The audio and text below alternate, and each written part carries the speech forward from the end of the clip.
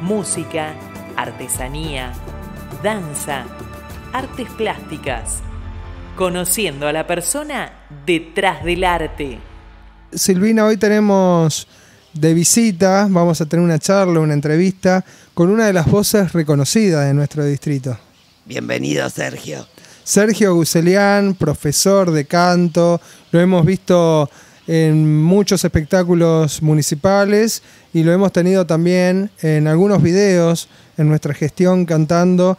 Eh, es un gusto recibirte, Sergio, ¿cómo estás? ¿Qué tal, Luis? Bueno, muchas gracias por, recibirme acá, Silvina. Muchas gracias. Muchas gracias, por brindarme este momentito para compartir con ustedes. Sergio, sos una de las voces reconocidas de, nuestro distrito, ¿no? ¿Cuánto hace que estás acá en San Vicente? Y en San Vicente nosotros empezamos en, la parte, digamos, pedagógica del canto en el año 2012. Abrimos nuestra escuela, Canto Sin Límites, con, Luciana Calcaño, que es, que es mi señora y es la otra profe de la escuela. Claro. Y, bueno, digamos, la familia de Luli está hace muchos años. Nosotros nos, nos mudamos aquí a San Vicente en, en el año 2011. ¿Dónde vivías antes? En, San Miguel, digamos. Viví mi infancia en lo que es capital y, después, bueno, por cuestiones laborales de, mis padres que tenían clínica en San Miguel, nos mudamos a San Miguel en los, 90. ¿Y te mudaste a la zona rural de San Vicente? Sí, sí, nosotros vivimos en, en, el campo de San Vicente, en el paraíso. ¿no? De San Miguel a la zona rural de acá. Y la verdad que un, un cambio increíble, maravilloso. ¿Venían buscando ese cambio, Totalmente, sí. sí. Buscamos la, la, tranquilidad, digamos, tanto Luli, mi señora, como yo, somos de disfrutar mucho la, la, naturaleza y, y digamos que con la visión de que los chicos puedan crecer tomando un matecito bajo una sombra, subiéndose un caballo, escuchando algunas payadas de los, de los grandes de acá de San Vicente y, la verdad que nos, enamoramos de San Vicente. Sí, creo que todos los que elegimos a San Vicente como el lugar para vivir vinimos un poco en busca de eso mismo que vos comentás, ¿no? Totalmente, totalmente. Y hoy tienen animales, contanos. Y tenemos caballos, o sea, tenemos caballitos, las, las mellis, que son nuestras hijas de, 19. Eh, ellas son locas por, por, todo lo que tiene que ver caballos. O sea, Qué bueno. Eh, mirá la mala a la mamá, a los abuelos, mm. insultalas, pero no, no mires mal a un caballo porque te clavan un puñal en el, en el corazón. Ellas son grandes amantes de, de la tradición, del folclore, digamos, de, todo lo que tiene que ver con lo equino, con lo, son, son amantes. O sea, te pueden hablar desde el primer pelaje hasta el último de todas las razas de los caballos. Miran un caballo y te dicen, bueno, ahí va un zaino vero colorado, eh, esto es esto, lo otro, y yo me quedo así como mirando.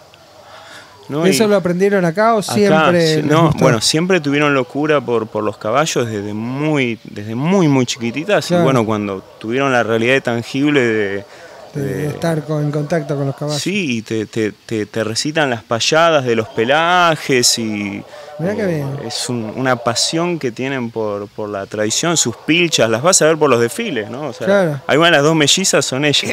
¿Te imaginabas eso hace unos años atrás? ¿Te imaginabas vivir en el campo, que tus hijas les guste el ambiente rural, que tengan este vínculo con los caballos. ¿Te lo planteaste alguna vez o se dio así de casualidad? Y quizás son esos sueños que uno va como postergando y quizás se los imagina más de grande, más hacia el final de la, de la, ruta, ¿no? pero, bueno, viste, a veces es como que la vida te sorprende y, fue muy, fue muy dichoso. Gratamente, ¿no? Porque a veces son decisiones de nuestras y no sabemos si los hijos se van a ah. adaptar tanto al lugar como tu caso maravilloso. Las trajiste al lugar que ellas necesitaban. Totalmente. Y bueno, el, nene más chiquito se crió acá, así que viste.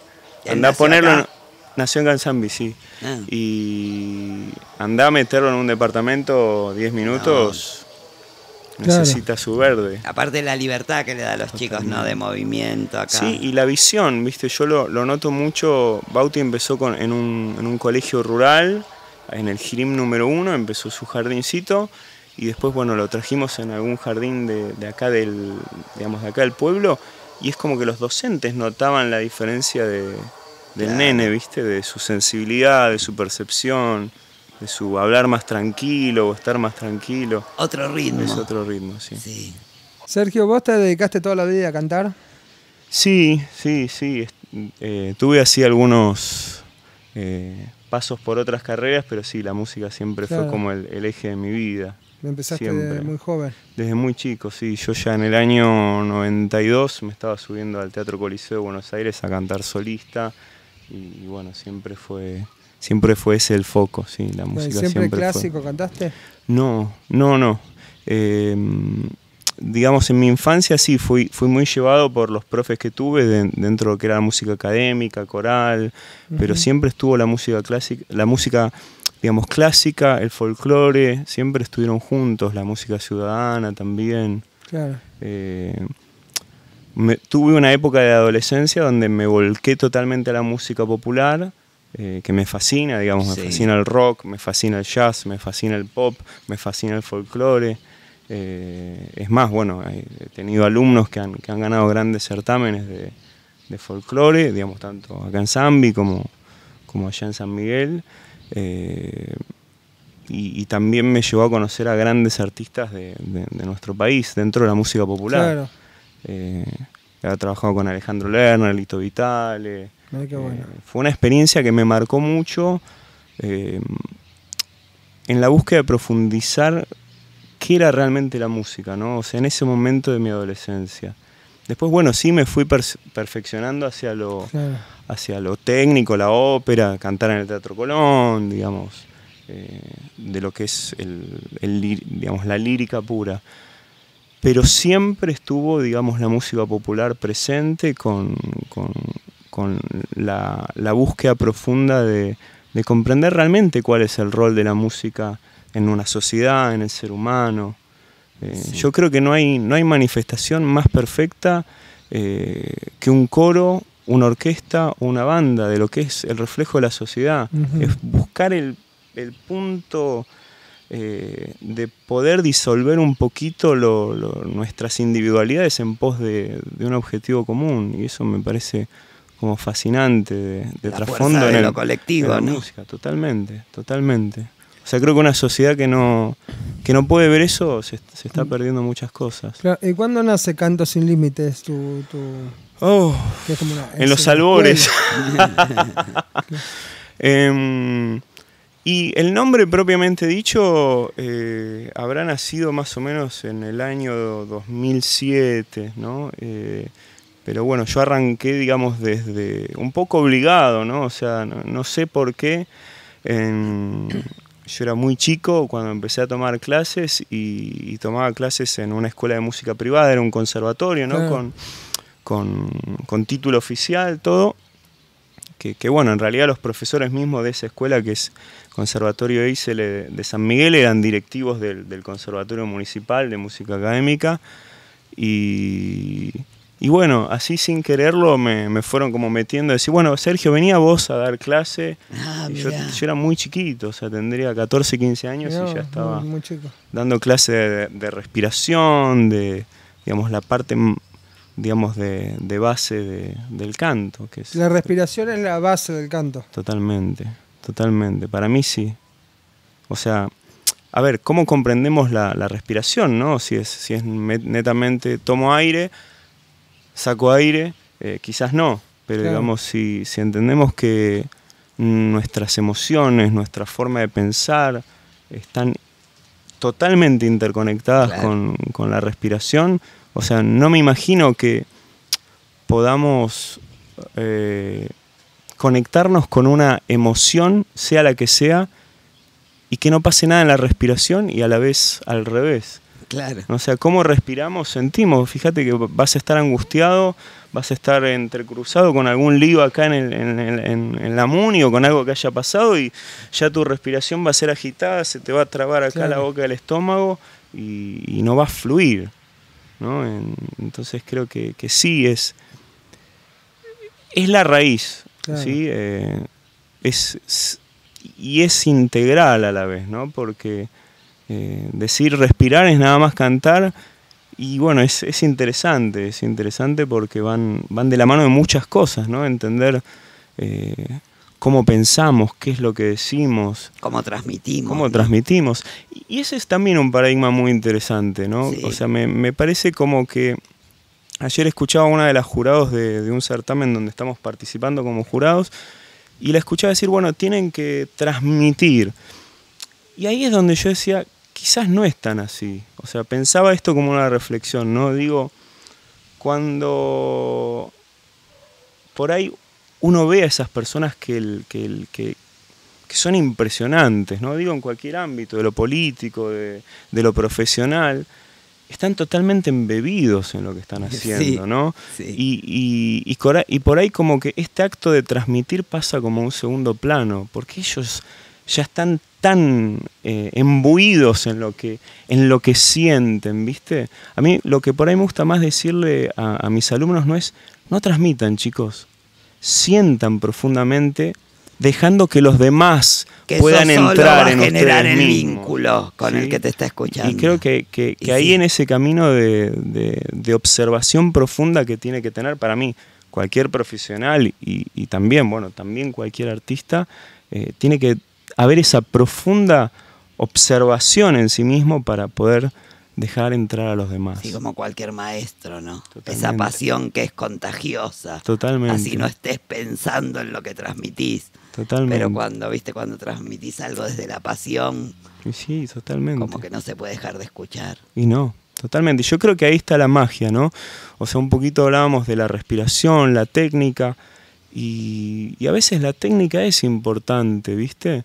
Pero si no si no es simplemente un medio, la técnica de, la respiración, de, la, de, poder colocar la, voz y conectarla con los resonadores y bajar la laringe y, la proyección, digamos, si la técnica no es un medio para conectarse con el otro, eh, no ocurre el arte, no. no ocurre la magia, no, yo siempre cuento una experiencia, en, 2012 estábamos haciendo una función en el Colón.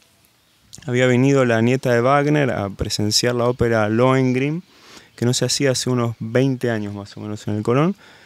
Y, me acuerdo un momento específico de la función donde, viste, es como que se rompió la separatividad, viste, es como que la, la, sala entera, ¿viste? Todo armonía. Fue, fue una, una, sensación. Qué bueno. ¿Qué sé yo? Una sobredosis de dopamina, qué sé yo, todos esos neurotransmisores que andan por ahí dando vueltas. Claro. y por ahí eso trasciende a la perfección en el canto en totalmente, sí, ¿no? Totalmente, totalmente. Que, que, ¿Quién podrá definir qué es lo más importante, no? Sí, sí, totalmente es, es, una, es una pregunta interesante, tenés toda la razón en ese sentido. Porque viste que a veces nos pasa, sobre todo, bueno, si el público no es de músicos que hay por ahí ven desde otro lado, mm. pero a veces nos pasa mucho que decís, no sé si lo está haciendo a la perfección, pero che, qué bueno. Uh, cómo me movilizó, así se haya equivocado. Totalmente. le haya errado alguna nota. igual que bueno lo que está haciendo, sí, A mí me, pasa eso un poquito, ¿no? O sea, me, parece que me gusta ver el al artista desde ese lugar. Sí. O sea, me, por eso te decía, ¿no? la técnica es importante, pero como un medio. O sea, no, no como un fin de, de porque si te lleva a perder esa, ese contacto con el otro, digo, bueno, ahí ya estás creando una barrera claro. sobre, sobre vos mismo y, estás transformando el arte en, una, en algo muy eh, de autoestímulo personal, ¿no? Sí, por supuesto. Me, me, parece que no. Y bueno, y después esos seres elegidos donde todo se da en su conjunto, ¿no? Sí, sí. La técnica, el don. Igual yo creo que esos seres, esos seres elegidos eh, que hemos llegado a conocer, ¿no? O sea, hoy, bueno, hoy en día tenemos las redes sociales y, bueno, llega. Podemos escuchar gente de Kirguistán, como de Turquía, como de, cualquier parte del mundo. Sí, que no quiere decir que hayan llegado a la fama tampoco. Lo, lo que me parece interesante es que esos seres elegidos o sea, son los que han cautivado a la, a la gente, ¿no? Y creo que ahí es donde está la, la cuestión profunda, ¿no? O sea, e, esos tipos que han perdurado en el tiempo, eh, perduraron porque tenían esa magia. Eh, siempre me, acuerdo una anécdota de, mi mamá, que bueno, ella es médica. Contabas que no venís de familia de músicos. No. Eh, por ahí se salteó, se salteó una generación, ¿no? Ah, pero digamos, mi, mi, mamá siempre contaba su experiencia, ¿no? Desde, desde su lenguaje, desde su percepción, cuando escuchó en vivo, como te podría, como estamos en esta distancia vos y yo, a, a Goyeneche y a Vinicius de Moraes. Y ella siempre me decía, estos tipos no cantan, hacen otra cosa. Es, es, una magia la que tienen, ¿no? Y creo que es ahí el punto donde no tenemos que perder esa búsqueda de poder apasionarnos totalmente en lo que hagamos. ¿no? Me, parece que, es, que ese es el punto que, que, es importante poder transmitirle a las generaciones y, a los chicos jóvenes, es poder despertarles la inquietud de apasionarse rotundamente con lo que hacen. Indispensable. Sí, totalmente. Y a cuántas veces, inclusive Goyeneche, ya, ya sin voz y casi hablando y mm. quién no se conmovía al escucharlo. Claro que sí. Y además también hay un punto donde me parece que trascendieron, ¿no? La estética, yo siempre recuerdo una con mucho cariño, a ver, esa, esa visión de con que tuvieron, ¿no? Con, con Piazzolla cuando ellos graban eh, Chiquilín de Bachín. Wow. ¿No? Eh, yo me, me imagino esa situación de ver un nene pidiendo para comer y eso no puede sonar lindo. No. no. puede, o sea, no puede tener la estética del tipo que querés escucharlo cantar con toda la nota así bella, hermosa. Exacto. No, es algo que lastima, ¿viste? Sí. Y, esa, y esa búsqueda estuvo. Entonces, ese artista que también se anima a romper la estética, eh, la estética preestablecida, ¿no? Eso me, me produce también mucho, mucha admiración. Mucha, mucha admiración. Charlan mucho con los alumnos, ¿no? es todo un, el camino del aprendizaje. Por ahí esa es la parte, la parte más importante de, la escuela, en realidad esa la lleva Luciana, que es como, como el cable a tierra de, los alumnos, que por ahí tiene más el, contacto con ellos por fuera de la clase. Eh, lo que pasa, Silvina, es que no... ¿Cómo puedes separar? Claro o sea, obviamente en la escuela trabajamos mucho, mucho el desarrollo técnico, el, conocimiento de la respiración, le damos mucho, mucho, mucho, mucho método orientalista, ¿no? De repetir, repetir, repetir y trabajar eh, en, todo ese desarrollo de cada uno de ellos. Pero no podés separar al artista de la persona, ¿viste? Eh, no, no se puede separar. Entonces, en la medida que el otro puede, digamos, llegar y sentir que ese lugar es de él, o de ella. Sí. Entonces ahí es donde puede quizás abrir su alma y poder sacar toda esa, todo eso que tiene para, para compartir. ¿Viste? A mí me pasó hace un par de años atrás, tuve una de las elecciones más difíciles de mi vida, que fue decir, bueno, elijo ser planta orgánica del Teatro Colón o elijo seguir siendo un docente de esta escuela jubilación. Claro, claro. Sueldo en blanco, obra social. Era una pregunta difícil, ¿viste? Y sí, muy difícil. Y, me acuerdo Luciana diciéndome, bueno, mira, hacer. elijas lo que elijas, yo te voy a apoyar. Y, la verdad que poniendo un poquito en la balanza todo lo que hemos ido construyendo en, en los años, buscando una identidad de una escuela humana, una escuela eh, donde se pudiera encontrar eso más allá de la música, ¿no? Como decía la, esposa de un, de, un, director que a mí me marcó mucho, eh, la música es algo más, ¿no? Siempre decía Alejandra que se, lo, se la robaba al marido, ¿no? Esa frase de, Pablo, eh, Pablo Lasval, un director. Entonces, ese algo más y buscar ese algo más y buscar ese transmitir ese algo más, nos dijimos, no, no podemos eh, dejar esto en, el camino, ¿no? Eh, después cuando se enteraron, varios alumnos me dijeron, no, pero no, nos vas a dejar sin profe, no sé qué. Eh, le digo, no, quédense tranquilos chicos, ya elegimos por, por Canto Sin Límites. Y al otro día de tener esa elección, una alumna de Capital, eh, estábamos charlando, una ingeniera de, de, la Shell, yo le termino de contar esta, esta elección y me dice, Ser, te quiero agradecer, se larga a llorar y me dice, este espacio a mí me salvó la vida. Sí. Sí, o sea, y no estaba siendo metafórica en lo que estaba diciendo. Entonces me parece que, digamos, todos los docentes que, nos volcamos al arte, a la cultura, tenemos que tomar conciencia del rol que tenemos para con los demás, que no es algo menor. ¿sí? Yo considero que cualquier persona que puede venir a una clase de canto, puede venir a una clase de danza, se lleva consigo un tesoro tan grande que después lo puede depositar en cualquier ámbito y lo hace un, mejor docente, un mejor comerciante, un mejor... Un mejor ser humano. Sí, entonces me, parece que no es algo menor. Muy interesante la charla con Sergio. Seguimos en un ratito. Eh, ¿Qué te parece si escuchamos la versión de Goyeneche que estábamos hablando recién con sería, Sería un placer.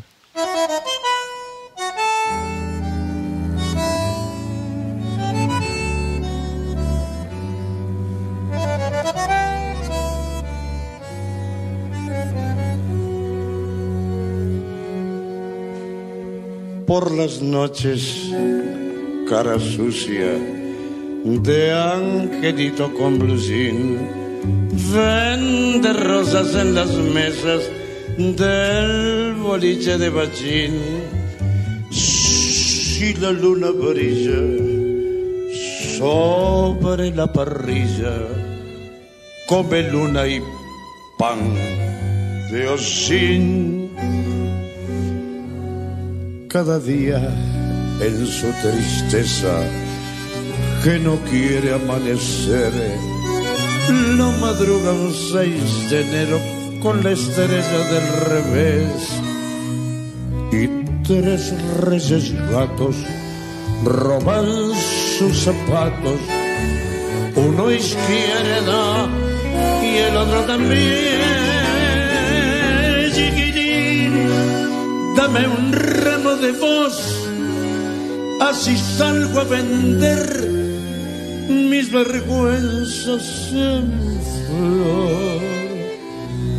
Paleame contra rosas que duelan a cuenta del hambre que no te entendí, chiquilín. Cuando el sol pone a los pibes delantales de aprender. Él aprende cuánto cero le quedaba por saber y a su madre mira, gira que te gira, pero no la quiere ver. Cada día en la basura con un pan y un tallarín. Se fabrica un barrilete para irse y sigue aquí. Es un hombre extraño, niño de mil años, que por redentro le enreda el violín. Chiquilín, dame un ramo de voz así salgo a vender mis vergüenzas en flor. Baleame con tres rosas que duelan a cuenta del hambre que no te entendí. Chiquirín.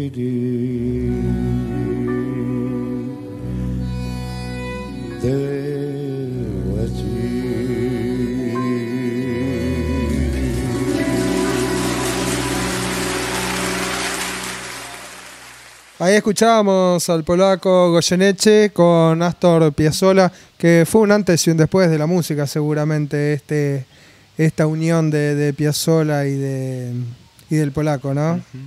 Con Horacio Ferrer, nada más y nada menos, escribiendo. Eh, ¿Qué escuchás, Sergio? Cuando escuchás música, ¿qué es lo que preferís escuchar? De todo, de todo. En casa es, una casa muy ecléctica. claro. Eh, puede, puede aparecer un, un Yupanqui, te puede aparecer un Led Zeppelin, te puede aparecer eh, un cantante lírico, te puede de los más desconocidos y raros. Eh, te, puede aparecer música de Cuba, te puede aparecer música de, Armenia. O sea, disfrutamos mucho de, de poder encontrar dentro de el, campo que sea e, e, esa pasión, ¿no? De, de la cual te mencionaba sí, sí, que estábamos hace, hablando recién. hace un ratito, ¿viste? Em, qué sé yo, yo, yo no, no, no, no puedo separar, ¿viste? La, pasión del, tipo que se sube a un escenario eh, y, decir, no, bueno, lo escucho porque hace jazz o lo escucho porque hace folclore eh, viste, yo, a mí me ha pasado en el volcador, viste, ver alumnos subirse a cantar y, que me emocionen, ¿no? Sí. Eh, en ese sentido. Sos de, emocionarte con eso. Sí, totalmente. Yo creo que no, no me. No sé si hay algo que me pueda producir más emoción que, ver a un alumno ahí cantando, es como que me, me, conmueve mucho. desde, desde el principiante como el profesional, ¿viste? En, la escuela no, no, hacemos un parate de decir, no, bueno, no, usted no es profesional, si no es profesional, no. Eh, tenés personas que, arrancan y, decís, bueno, no, no afinan, como un cantante profesional, como, a ver, qué sé yo, ayer estábamos con, con Adán Aloy, que, que yo tengo una profunda admiración por él, y digo, no, eh, esto es una clase compartida, ¿no? claro. Es, es, es, un placer y, bueno. ¿Es, alumno tuyo, Adán? Hace poquito estuvimos con Mariano Malti también, que también fue alumno tuyo, Mariano. Sí, Mariano, bueno, empezó, fue, el primer alumno anotado de la escuela en 2012. Mirá, qué bien. Eh, agradeció profundamente, habló de la escuela. Sí, nosotros lo tuvimos un vínculo cuando él durante, durante su estudio, muy, muy personal, de amistad, él es muy afable, es, es una persona muy muy afable. ¿Cuántos alumnos han pasado por la escuela ya? No me preguntes eso, por favor. muchos. Pero bueno, vos me contabas que hubo muchos que, se dedicaron a la música, que han ganado concursos, que, hoy en día están cantando. Sí, claro. Sí, sí. ¿Y tuviste algún alumno que haya empezado y que por X motivo haya dejado la música que, vos te lamentaste? Que, que por ahí es una carrera bastante difícil, la de, o la decisión de dedicarte a la música es una, decisión muy difícil. Yo siempre digo que comprendo a aquel que no se anima a dejar todo para dedicarse al arte o a la música. ¿Te ha pasado así que decís qué lástima que no se dedicó, hubiera sido un gran artista? Todos dan lástima que dejen, ¿no? Y hay, tengo algunos nombres, lo que pasa es que son muy conocidos. sí, sí, pero sin dar los nombres te, ha pasado de decir qué eh, lástima que no, no se dedicó de lleno a la música. Y mira, yo te puedo decir que, acá en San Vicente, a mí me ha pasado, o sea, de ver en los torneos, vos decís, tenés que ir a los torneos bonaerenses, tenés que ir a cantar a los torneos bonaerenses. Yo acá, acá hay, hay los cantantes que hay. Bueno, yo lo, hablaba con vos, el caso de, de Florencia, eh, de Floppy. Eh, es una bestia lo que canta Floppy. Eh, claro. O sea, hablo de Floppy Tocar. claro, la, hija de David Tocar canta muy, bien. Floppy es, es, un camión con acoplado, o sea, correte porque bien va que a canta, ser canta. ¿Y está cantando? No canta, pero todavía no, no se larga en público, mm. pero canta tremendo. Qué bueno. Ya se va a largar y, va a ser un, gran artista. Una, gran artista. Yo la y conocí a Floppy. también mucho. Uf, Sí, sí, es tremendo lo que canta. Qué lindo. Hace, un par de años, creo que hace dos años más. Con esto de la pandemia cuesta un poco contar los años, pero o sea, la conozco a Floppy desde que era una cosita así chiquitita. Y, y me acuerdo de venir caminando así por la plaza y cruzo y venía una chica cantando alta, ¿viste? Y claro, mi recuerdo de Floppy era chiquita y así cantando, ¡guau! Para, viste, con una libertad de la voz y expresando. Y dije, me voy a dar vuelta y le voy a decir, seguí porque sos increíble. Y, cuando estoy por tomar la decisión en darme vuelta y decirme, dice, profe, ¿cómo estás? Mira, qué lindo. ¿Vos quién sos? Soy Floppy, me dice. sí, sí, canta muy bien. Es, es impresionante. Y así hay muchos, muchos, muchos casos, ¿no? O sea, yo veo muchos casos de chicos que eh, que tienen un talento increíble, tienen tanto para dar. A ver, yo se lo he dicho, o sea, y no hablando de niños ni hablando de adolescentes, hay cantantes que son increíbles, que, que han sido bomberos, eh, que han sido de la policía, o, que no tienen nada que ver con, con, con, con la música y tienen, o sea, tienen magia, magia. Eh, Mariano, eh, me acuerdo, Mariano, cuando comenzó, que, bueno, iba a Schuller y cantaba canciones de YouTube, o sea, hacía covers de YouTube muy lindos, muy prolijos, y, lo agarra uno de los dueños de, de, de Schuller, Jody, y le dice, no, no, tenés que ir a estudiar acá con este chico, Y, y, a ver, yo me lo imagino a Mariano triunfando muchísimo más. Y sí. O sea, es, es como que yo sueño con que pueda sacar muchísimo más para afuera la voz porque conozco su voz. ¿sí? Es como que decís, nos estás dejando con gustito a poco. O sea, yo cuando lo escucho digo, nos estás dejando con gusto a poco. ¿Sí? Así como también hay otros alumnos que son increíbles porque lo, lo dejan todo. O sea, el caso, por ejemplo, de Cintia Cosiforti, que creo que estuvo hace poquito, y, ganó hace poco, ganó hace poco este certamen de la segunda edición de Voces Compartidas. Cintia va a ser en un par de años va a ser imparable, realmente imparable. En el ámbito que quiera, si quiere cantar jazz, si quiere seguir cantando folclore, si quiere cantar melódico. Claro, eh, tiene un, futuro por delante increíble. Claro. ¿Cómo haces para que el profesor no paque al intérprete o al cantante? Y conmigo no van a tener problemas porque siempre van a haber mejores profesores que yo. Pero no. Pero vos, eh, tu cantante, por ejemplo, ¿sentís que se había opacado por el profesor, que te dedicas más a enseñar que a cantar o no? Y yo me dedico más a enseñar que a cantar. ¿Y no extrañás eh, ser más artista que profesor? Ponerle estar en ese lugar de, ser el artista en vez del profe. Y es que a veces, viste, son tantas horas, Luis, que uno por ahí le se vuelca tanto, viste, al rol docente, que por ahí, viste, cuando vos decís, bueno, eh, viste, son elecciones, viste, son elecciones. Eh, a mí me, llaman, viste, para por ahí ir a cantar, digamos, en algún que otro evento privado. Recuerdo hace, hace muy poquito, bueno, antes de que empezara toda esta cuestión, eh, hicimos un, un, evento muy bello en el Palacio San Miguel, que fue increíble. y sí, o sea, a ver, si te digo que no me gusta cantar, te estoy mintiendo. Claro. Eh, la realidad es que quizás me apasiona mucho más.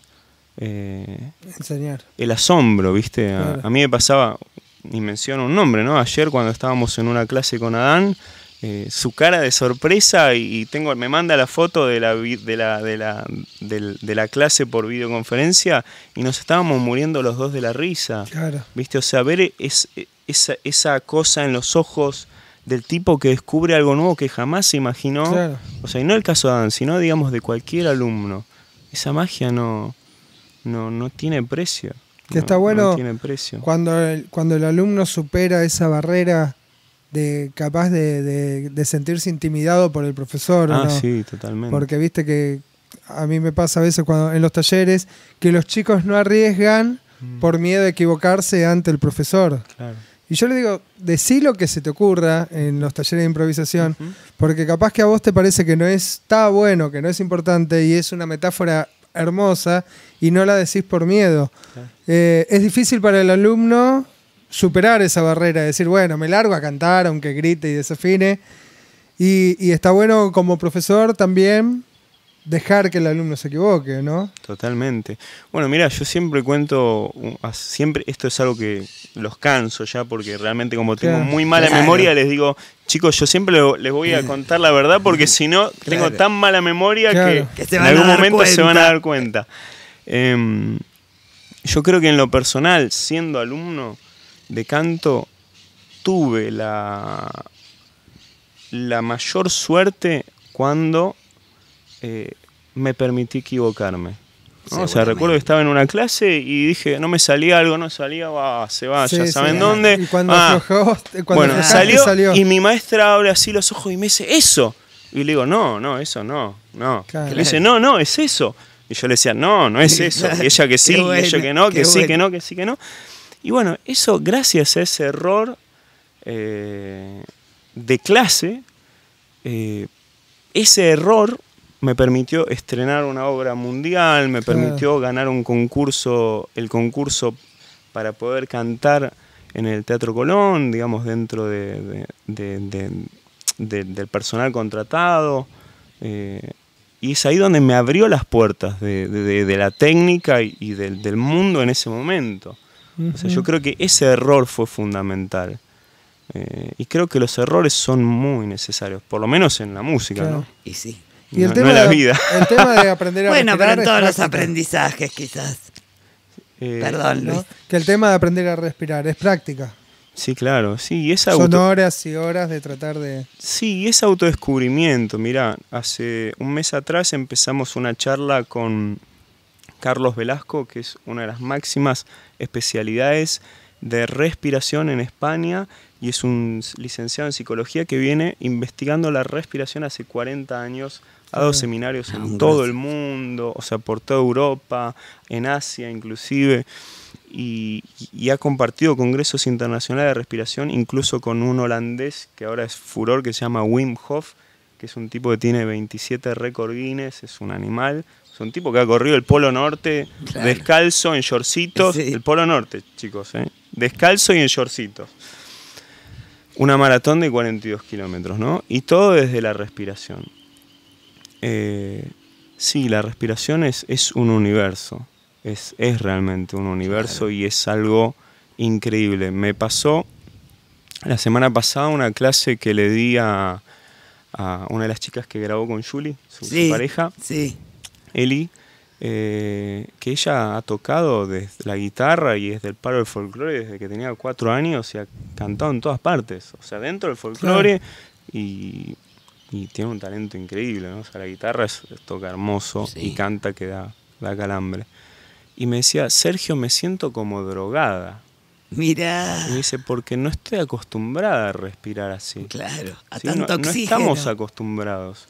¿Sí? Y yo creo que sería muy, muy importante que, y esto es algo, este es un sueño personal que, que estoy tratando de, de materializar, es que pueda llegar a los espacios de formación institucional para los docentes en, niveles iniciales, en niveles primarios, secundarios y universitarios, el uso de la respiración, porque la cantidad de docentes que, yo tengo, que son alumnos de canto y que tienen serios problemas de nódulos, de hiatos, eh, ¿Y cómo les afecta emocionalmente cuando vos tenés que estar frente a 30 chicos y no tenés voz, porque te quedaste sin voz y te lastimaste? Y digo, tenés que, tenemos que volcar y dar estas herramientas para poder generar otros estados de ánimo. Si hoy en día la educación se ha transformado en eso, hoy un docente, eh, su, su, herramienta de comunicación es la voz. Claro. Entonces, si no tiene formas para poder cuidarse, ¿cómo, cómo sigue adelante? ¿Cómo, cómo puede mantener su carrera, su, su, profesión? Es muy importante. Sí. Yo creo que aprender canto es, es poder conectarse con, con, esa respiración consciente. Y es, es, algo increíble. ¿Cómo los trató la pandemia? Y fue, fue un fue un paradigma interesante, ¿no? Nosotros con, Luciana siempre apostamos a, la calidad humana, ¿no? A lo, presencial, al contacto con los alumnos, ¿no? Como esto que charlábamos de, lo importante de brindarle el espacio al alumno para que pueda abrirse emocionalmente, como me, preguntaba Luis, de a ver en qué momento se anima a, poder romper esos tabúes. Em, fue un desafío para nosotros modernizarnos, ¿no? O sea, conocer el peso que tenía hoy en día en lo comercial el Instagram, el peso que tienen las redes sociales, lo virtual. Eh, fue, un, fue, un, gran desafío, fue un gran desafío. Herramientas que todos teníamos ahí lejos. Mm. No, y ahora nos tuvimos que acercar. Eh, fue, un gran desafío, fue un gran desafío. A mí en lo personal, digamos, fue una gran oportunidad, digamos, para, desde, lo, desde yo, Sergio, la persona, eh, porque quizás uno pasa mucho tiempo fuera de casa, en, el ciclo de formación y de lo laboral, de poder estar más con la familia, eh, pero fue, fue todo un desafío, fue todo un, un gran desafío. Estuvo bueno porque, a ver, lo bueno que tuvo para los alumnos es que se encontraron con la comodidad de estar en su casa. Entonces eso les brindó más, más, seguridad, Y, más tránsito de, interno de, de, todo lo que estaban pasando, más poder tomarse el tiempo de, vivir toda esa emotividad que estaban viviendo, que no fue poca. Eh, nosotros tuvimos en los principios de la pandemia una, una pérdida muy grande de un alumno que decidió quitarse la vida y fue muy fuerte, fue, fue muy, muy movilizador. Muy mm, movilizador porque era una persona que queríamos mucho, mm. mucho, mucho. Y fue muy movilizador también para el grupo, el, taller al cual él pertenecía, se, quedaron muy conmocionados. Y sí. Muy, muy conmocionados. Y eso nos llevó también un poquito a, doblar energías en, en, lo que tenía que ver con, con ver cómo estaban los, los alumnos, tratar de darles herramientas, porque viste, es como que hoy en día desde, desde la tele, las redes, ¿no? O sea, están todos estos programas de canto y de talento súper, entonces todos sabemos de tenés que transmitir, tenés que sentir, a mí no me llega lo que estás cantando. y, y, es como que, viste, todos los padres, los tíos, los hermanos, viste, agarran y dicen, no, no, no, no, no, pará, vos sos un cubito cuando estás cantando porque no me llega a mí lo que vos estás cantando, ¿no?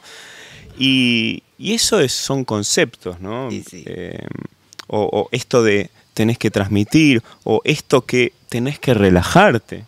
Mira, cómo te relajas? Claro, decime o sea, cómo. ¿no? Como me decía, eh, en época de, antes de la, de la pandemia, una, tengo una alumna que, estudió muchos años teatro y danza, es un solcito ella, Agus no me deja mentir, eh, y me acuerdo que tenía una, audición en una, con, un productor, una escuela en Capital de, de comedia musical, y estaba ya nerviosa en la clase, ¿no? Por lo que se venía. Y yo le digo, pero... O sea, no digo el nombre porque... Está bien. No, no, no corresponde. Eh, y le digo, bueno, pero decime, que, que tus profe de teatro, ¿qué, qué, herramientas te dieron para una situación así, un casting? ¿Cómo, cómo te plantas? Y, y, sí, me dicen que me relaje.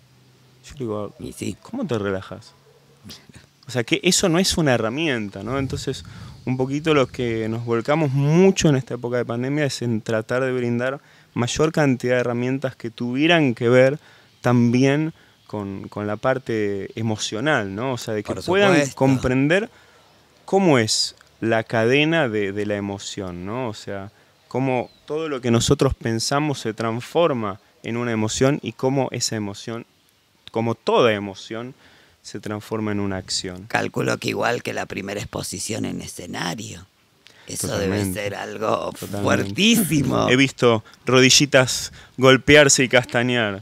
Es algo interesante, pero yo creo que el... Que si no estás preparado, intuyo que hasta puede ser hasta traumático. Totalmente.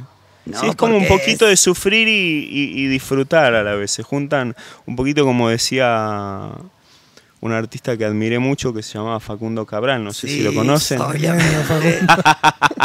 ¿Cómo no? ¿No? Como decía Facundo Cabral, e-, ese momento donde tenés ganas de reír y llorar al mismo tiempo es, es ahí donde encontraste el punto. Y me parece que, el escenario bien encarado te, puede brindar esa oportunidad. Y según dicen, hay una cierta cantidad de nervios que no se van nunca o no, se debieran ir.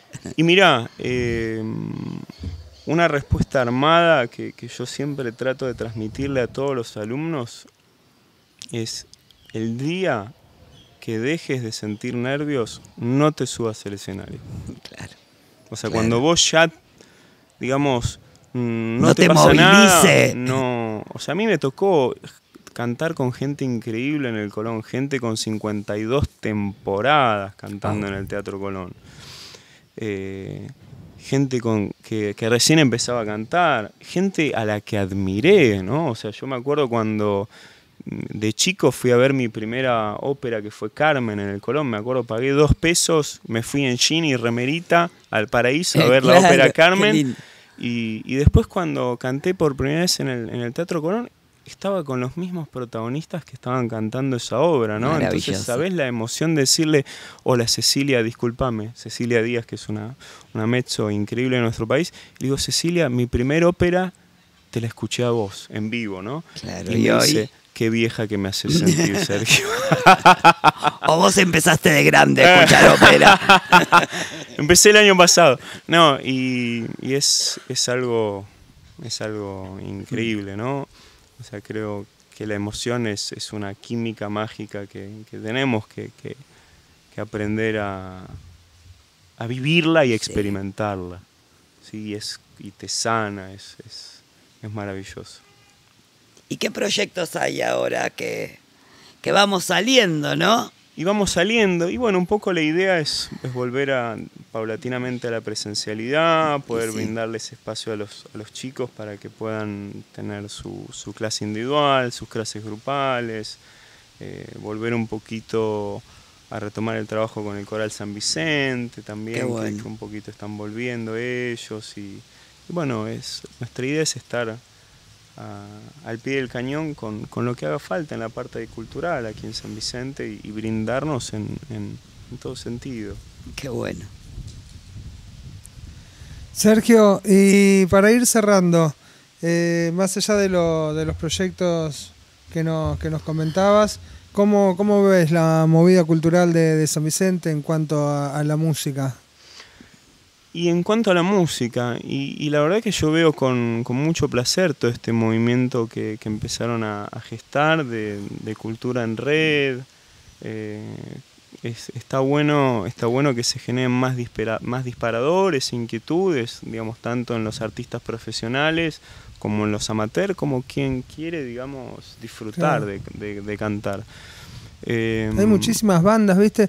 Sacamos el registro de, artistas y ya hay más de 250 inscriptos. Wow.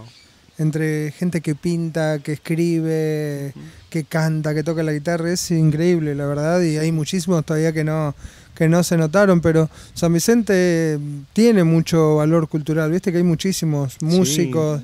Y hay mucha eh, gente que está buscando su espacio también. Yo creo que cuando, no sé si ustedes recuerdan la experiencia de Canta Argentina que hicimos acá mismo, eh, fue increíble. Yo me encontré con gente que no conocía. Eh, y, la verdad de, de, ver gente de diferentes espacios uniéndose, yo creo que por ahí va a sonar un poco feo y va a molestar un poquito lo que voy a decir, pero creo que falta un poquito más de unidad entre los artistas. Yo creo que, pasa eso. Em, yo viví extasiado las primeras peñas, por ejemplo, de Peña Trío, que fue un proyecto de, de que se buscó estimular a las escuelas, o sea, de dar un aporte también, o sea, con algunos de, los artistas más increíbles que tenemos acá en la zona del folclore, eh, y, de golpe desapareció, ¿no? Entonces es como que digo, tenemos que generar herramientas ir sosteniéndose de, entre la comunidad de artistas. Sí, o sea, creo que hay mucha mucha competencia. Me, parece que, que, hay que trabajar mucho en ese sentido de, poder unir a los artistas, ¿viste? Que no sea una cuestión de cada uno cuidar su ranchito. si no actúo no, voy a ver eh, al otro. No voy a ver al otro. Quiero, creo que se tiene que trabajar mucho desde ese lugar. Eh, y también se tienen que gestar, me, parece que tiene que, que estaría bueno que se desarrollen más espacios que apunten a integrar la formación humana y técnica también. Eh, o sea, he conocido acá en San Vicente docentes eh, eh, con, profundas conductas psicopáticas sobre los, sobre los alumnos, de castración y de destruir la integridad emocional de sus alumnos. Y eso es paupérrimo. eso es paupérrimo.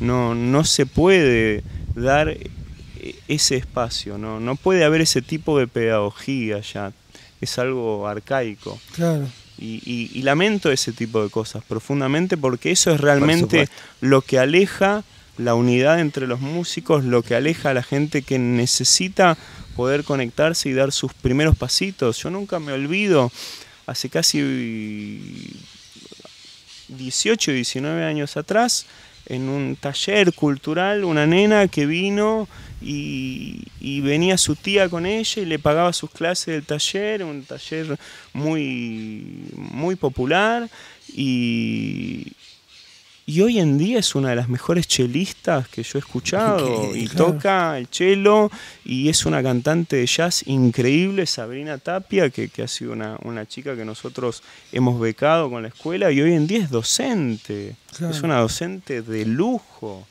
¿sí? Y, eso es producto de, que tenemos que volver a humanizar el arte, totalmente, no, no puede haber una cosa fuera de la otra. y creo que es hacia allá donde tenemos que, tiene que aparecer más ese tipo de, de, visión eh, de unificar.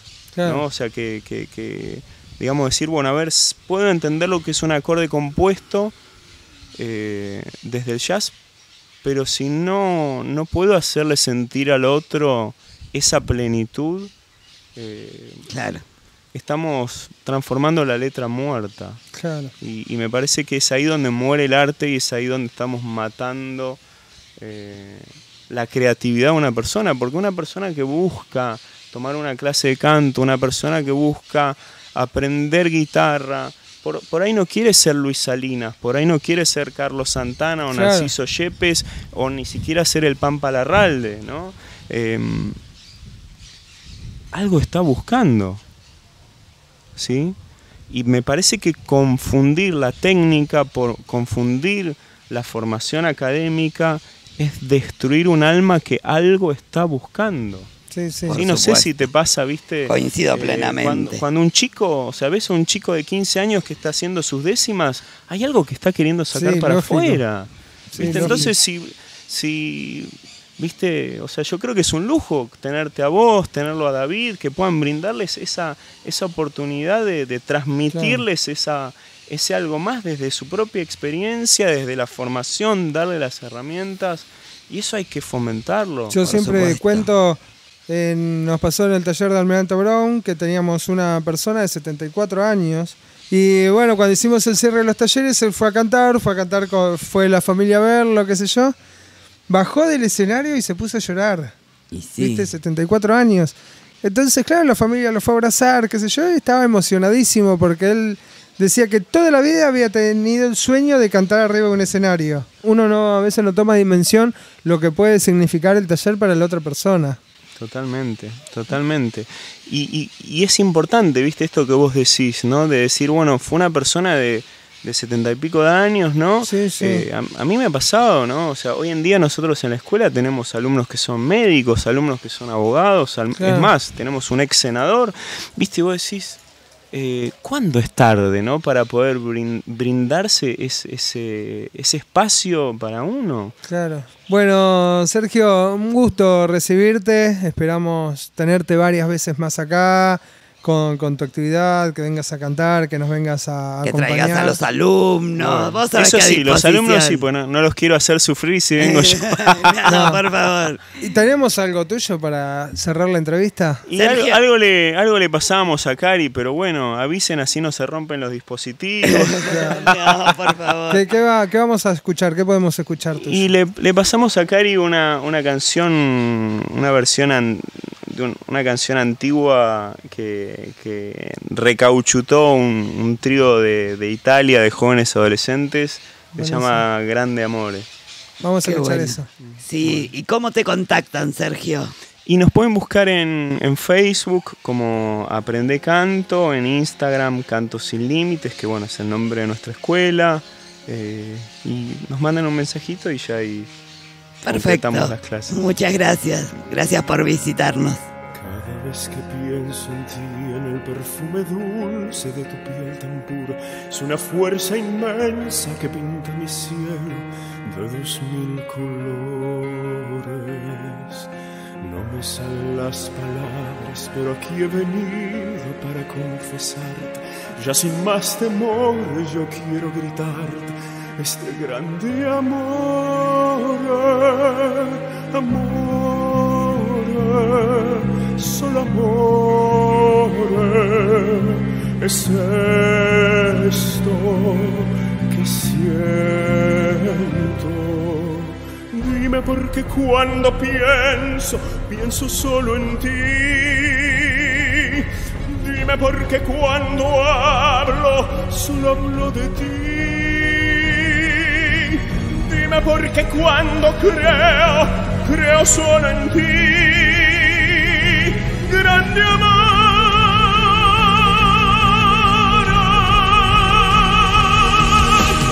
Dime que estás, que mi amor siempre será. Dime sabes que no te voy a perder, amor. A marchar.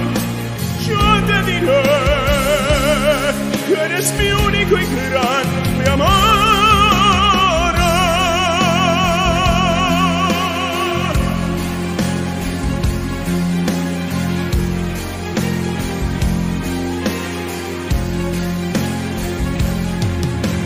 Ahora todo es primavera, ya no hay noches frías sin pensar en nada, en que tengo tanto, tanto para darte. Por favor, no demores, tu amor es mi guía, por siempre serás. Dime por qué cuando pienso, pienso solo en ti. Dime por qué cuando amo, solo te amo a ti. Dime por qué cuando vivo, vivo solo en ti. Grande amor,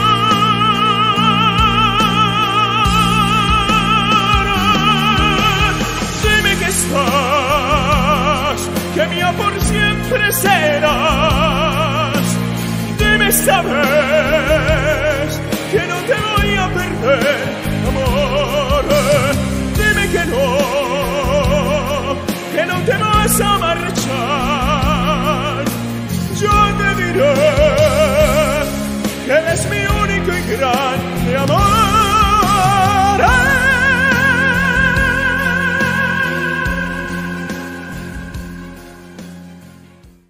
San Vicente, Cultura en Red.